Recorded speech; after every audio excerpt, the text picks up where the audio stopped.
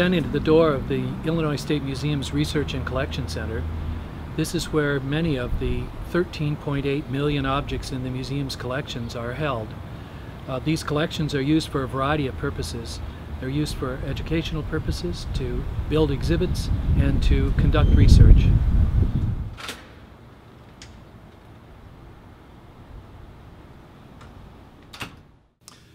The Research and Collection Center is 100,000 square feet in size.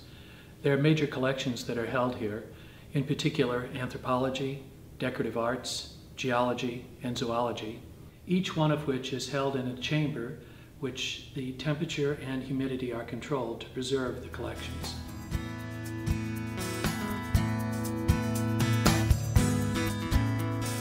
The geology collection contains three major groups of materials. One would be vertebrates, and largely what we have here are vertebrates that are associated with the Ice Age, the mammoths, the mastodon skeleton, giant ground sloth. Another collection is the rocks and minerals collection. It's an extraordinary group of materials that represent uh, things from fluorite to other minerals that are found throughout the state. And we have marine invertebrates, uh, a variety of fossils from when Illinois was uh, a marine environment. So objects in the geology collection represent a remarkable cross-section of life on Earth in Illinois.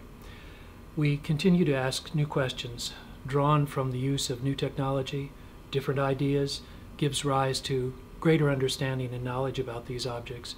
In the future, people will come back to these collections with new questions and new pieces of technology to unravel even deeper secrets about the objects themselves and what they tell us about the history of Illinois.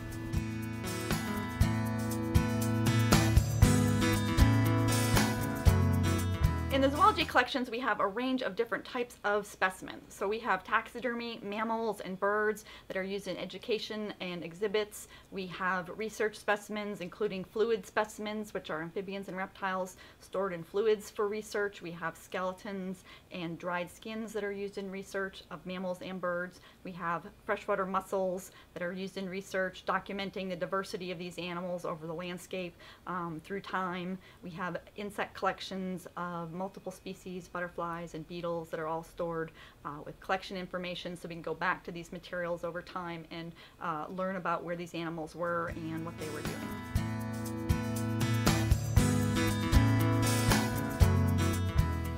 The anthropology collection consists largely of archaeological specimens that have been found throughout the state of Illinois.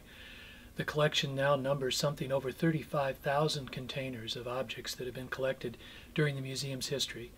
These objects represent most of the Aboriginal societies that once were resident in Illinois, as well as uh, collections from our own forebears in the early 19th century and early 20th century.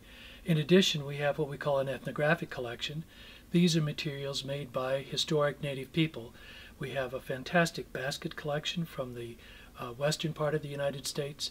We have ceramic materials from the pueblos of, of New Mexico and Arizona and a variety of other objects from places like Africa.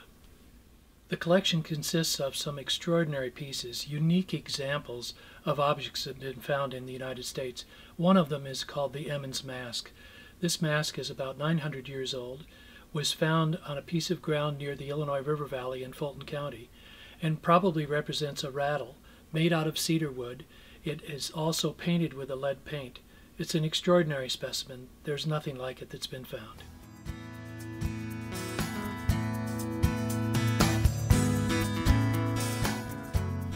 This is the decorative arts collection. It consists of a variety of objects that people would have used in everyday life in Illinois.